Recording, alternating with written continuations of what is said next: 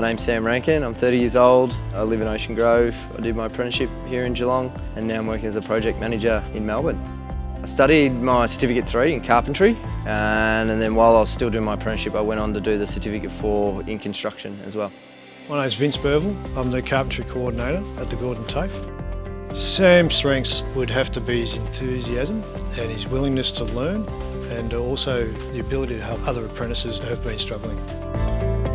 Um, I originally did a commerce degree at university and then owned my own company, sold that and then moved into something completely different. Um, while I was at university I worked as a labourer in carpentry and I just really enjoyed the hands-on, enjoyed the thinking process, I wanted to get outside, be more outdoors, be more active rather than always be stuck in front of a computer screen.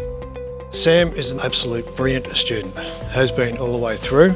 If you're an employer and you had Sam working for you, you would be absolutely stoked. He would be one of the best assets a company would ever have. Goals and plans for the future, I'm looking forward to actually applying for my own licence and doing something myself. Doing an apprenticeship at the Gordon as a pathway to what I'm doing now as project management has led me to think about things differently in terms of construction. It makes it easier to read plans, makes it easier to know where the finish is. So having that hands-on experience and knowledge of how things get stuck together, connected, um, has been invaluable.